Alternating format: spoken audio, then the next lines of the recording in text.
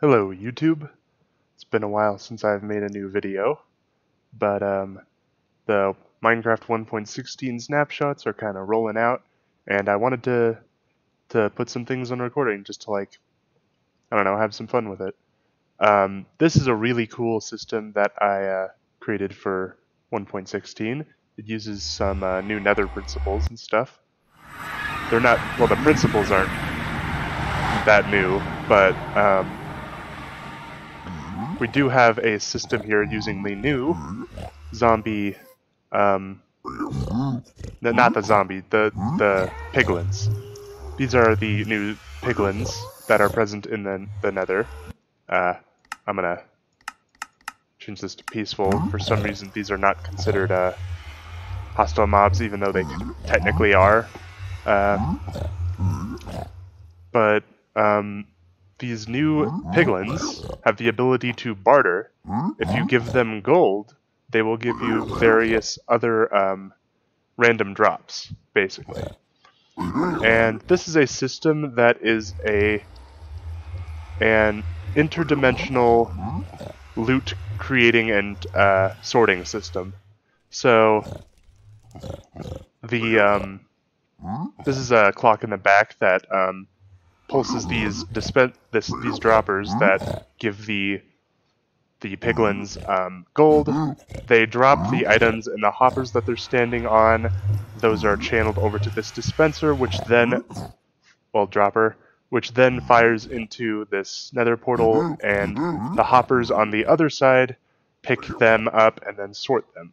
So, I think the best way to just kind of demonstrate this is just to demonstrate this.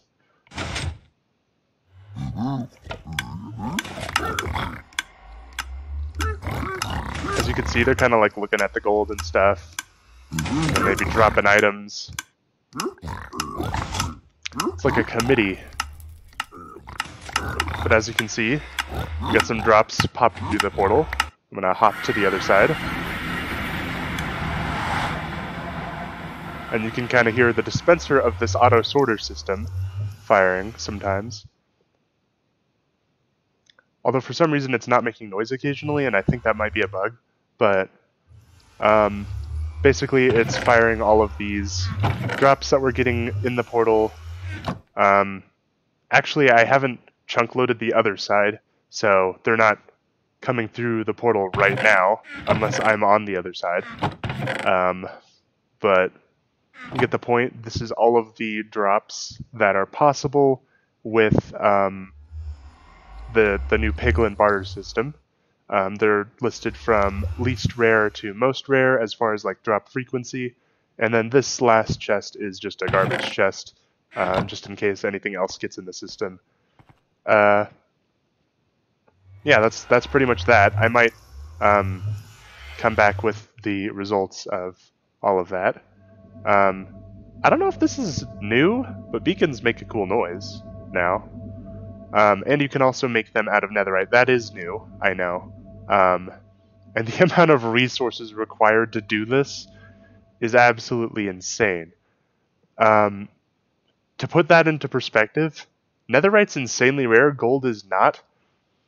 If we, and this is this is the part that might break my freaking computer if we were to kill enough zombie pigmen to drop the gold that we needed for the netherite beacon, we would need this entire area packed at maximum entity cramming limit, so 24 mobs per block.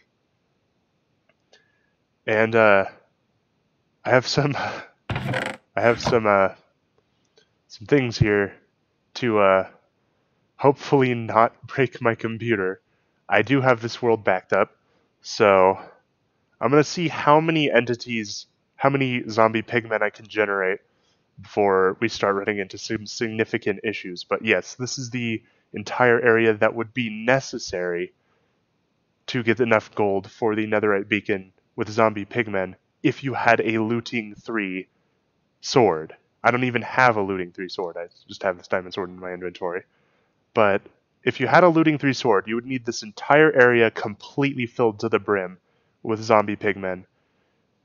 And yeah, this entire area is necessary because if too many mobs are in one spot, then they start dying. They might start dying anyway because of the way that the game handles entities and things like that. But yeah, I have a repeating command block here that generates some zombie pigmen at its position.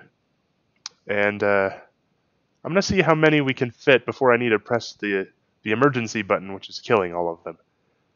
Uh, yeah, let's, let's do this. It's going to be like a fountain. Oh, wait. Oh, my. Um, oh, it's on, yeah, it's on peaceful. Okay.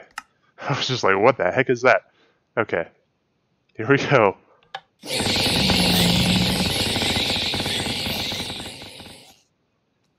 And you can see the entity counter in the top left. It says E, and it's rapidly increasing.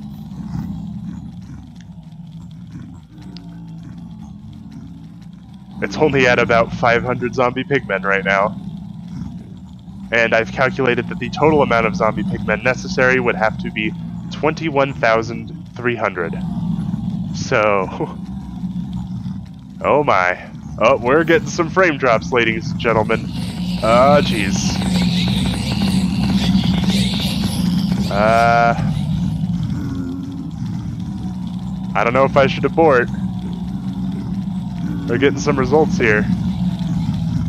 Jeez. Yeah, we've reached about 120, 123rd of what is necessary to kill at this point. And I have a pretty beefy rig, so this is this is something else. Oh my gosh. Okay, we're getting a whole 10 frames per second here. The game normally runs at 144.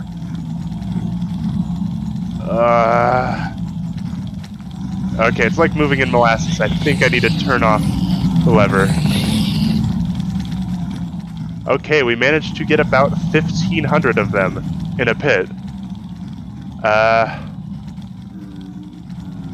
I don't know what this is gonna do for the recording. Uh... Yikes.